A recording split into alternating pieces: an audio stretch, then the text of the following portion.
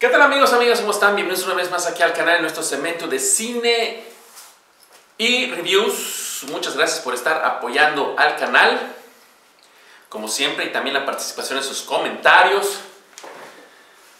Y bueno, estoy viniendo de ver Toy Story 4.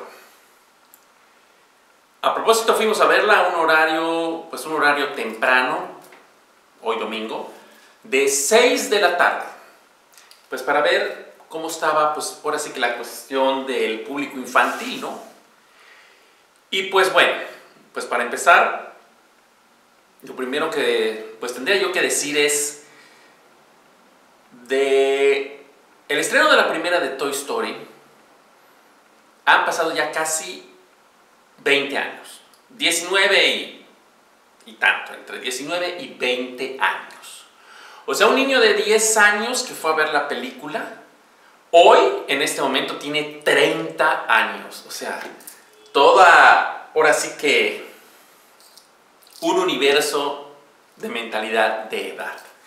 Entonces, ahorita pues me percaté que fue mucho adulto. No vi casi, mejor, adolescentes. O sea, muchachillos de 12, 13 años, muchachitas de, de la misma edad, no. Eran gente adulta y de niños eran niños completamente chicos. Niños chicos, 7 añitos, 8 añitos. O sea, no, no vi niños de más allá de 10 años, 12 años. O sea, en pocas palabras, eh, no les llama la atención esto. Siento, inclusive habían adultos solos, bueno, como nosotros. Eh, definitivamente, mucha gente de la que está yendo a ver esta película es gente que creció con toda la saga. Bueno, el primer comentario que tengo que decir es que definitivamente es una película para adultos, o sea, para los que crecimos con la saga. Más allá de los mensajes y todo esto, porque he de decirlo, tiene ahora sí que todo un cóctel de empoderamiento de la mujer, descarado, eh, eh, paridad de género, todo eso que se les ocurra a ustedes lo tiene esta película. Pero uno como adulto, pues la agarra, digámosle, pues ahora sí que el lado bueno de las cosas, ¿no? Porque la película está muy bonita, está muy buena, está buena. Claro, siempre es la misma historia de siempre, un juguete se pierde y hay que ir a rescatarlo. Entonces, pero bueno. Entonces, ¿qué pienso realmente este, de esta película? Definitivamente es una película para adultos. Los pocos niños chicos que estaban en la sala, algunos estaban llorando, había otro niño histérico, berreando por todo lo que le estaba sucediendo a, los personajes. Eh, que la verdad no me molestó. Yo sé que a mucha gente le molesta de repente que un niño, porque realmente eh, sus, pues ahora sí que su frustración iba muy directamente relacionado a lo que estaba pasando en la película. O sea, no era un berrinche por mami, ya me aburrí, sino realmente estaba él sufriendo lo que estaba pasando en la película. Entonces, por eso al menos a mí no, no me afectó. Pues yo igual en algunas partes tenía, ahora sí que el sollozo aquí atorado en el, en el estómago y aquí por acá, ¿no? Entonces, este, definitivamente es una película que tiene eh, muy fuertes picos emocionales. Así como de repente te lleva a emociones gratas, te baja de repente a emociones tristes y sí, entonces los picos son muy fuertes, eh, eh, difíciles para manejar para, un niño. Les vuelvo a mencionar, no habían adolescentes, no habían preadolescentes en la película. O, o eran adultos o niños chiquitos. O los papás que no les quedó más que llevar a sus hijos para que conozcan esta historia que definitivamente llegó para mí tarde, muchos años después. Claro, eh, definitivamente todos los papás que están ahorita metidos con niños chicos, pues seguramente casi todos, si no es que todos ya están pagando su Disney Channel, ¿me entienden? Porque es la única manera de poder ver toda esta continuidad de estas películas y que los niños puedan entender. Definitivamente no es lo mismo. Eh, cuando uno ve una película en casa, eh, hay muchos factores, muchos distractores eh, que de repente suena el teléfono, mamá dice, ya está lista la comida, vengan a cenar, le tienes que poner pausa a la película. O sea, hay, hay, muchos distractores cuando vemos una película en casa, a no ser que la veas solo como yo. yo. Yo las películas que veo las veo completamente solo, a altas horas de la noche, eh, eh, tratando de que lo menos eh, distraído que pueda yo estar de, pues, de lo que estoy viendo, ¿no? Entonces, básicamente, pues es eso. La película, pues vuelvo a repetir, obviamente tiene una calidad gigantesca, así como tiene mensajes de estos, de los que ya estamos acostumbrados, también tiene bonitos mensajes, lo tengo que decir hay ciertas enseñanzas dentro de, de lo que pasa en el, en el, film, ¿no?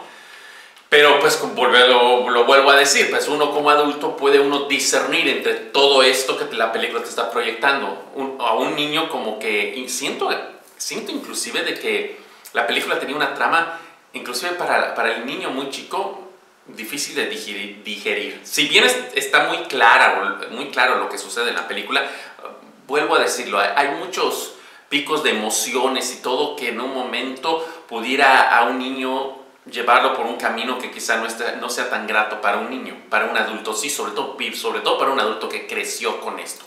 Porque fue una, ahora sí que una maniobra muy buena.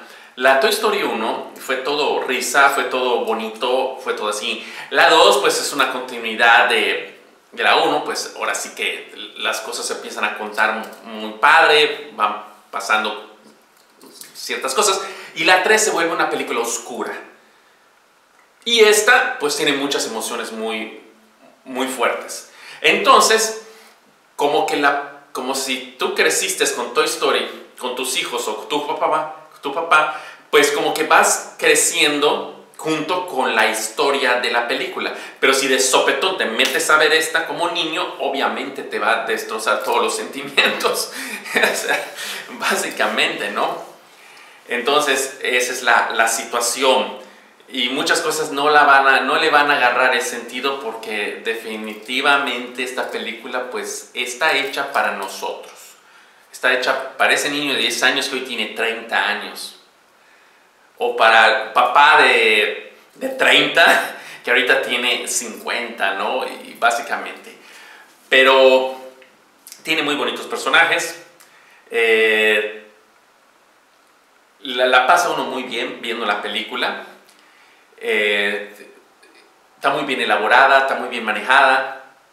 Lástima que como siempre, pues ahora sí que al presentarse tanto tiempo después tenga que tener tanta de esta carga. O sea, si tú ves esta película con las demás, notas la diferencia. ¿Me entienden? Básicamente. O sea, como que no va en la misma línea. Vaya. Pero bueno, dentro de todo, pues uno lo entiende, uno eh, crece con, la, con el desarrollo de los personajes en esta película, algunos personajes toman, de los que ya conocemos, toman mucho más importancia que, que aquellos que eran importantes en las otras. O sea, por ahí va la cosa. Pero en fin, y en resumen, eh, está muy bonita la película.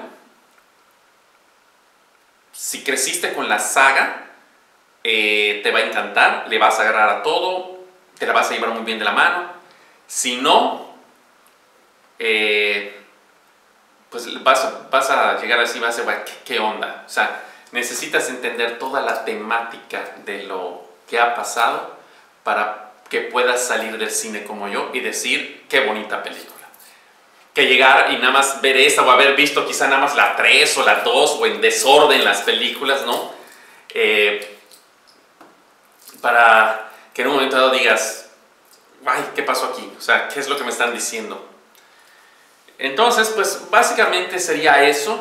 Definitivo, la recomiendo al 100. Sobre todo, pues los que hemos crecido con esta saga, es obligado ir a verla. Y no vas a salir, eh, no vas a salir mal, o sea, vas a salir muy contento del cine. Eh, y tiene, pues obviamente, unos personajes nuevos muy simpáticos, todos. y y tiene también muy buenas, muy buenas voladas, pero en resumen, es una película muy buena, pero es una película que tienes que haber crecido con esta saga para que realmente te llegue.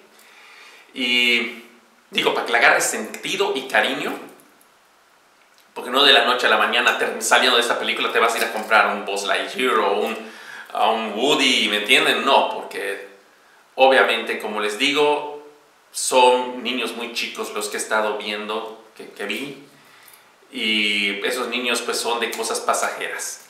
Si se les antoja pasar por un super y ven a un Buzz Lightyear, se lo van a pedir a papá, y si no lo ven, ni lo van a pedir.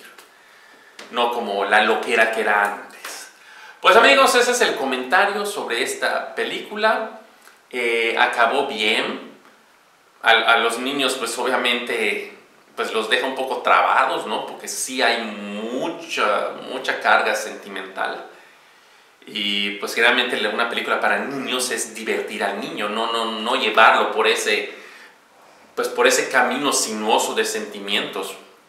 O sea, si ya uno como adulto es difícil manejarlos, imagínense pues para un niño. Para mí, como siempre, su, su opinión de ustedes pues es la que vale, yo les doy ya la mía. Y definitivamente vayan a verla, les, les va a gustar, les va a gustar. Y pues ya sin más, este, nos vemos para el próximo video. Espero que tengan un muy lindo comienzo de semana. Hasta luego.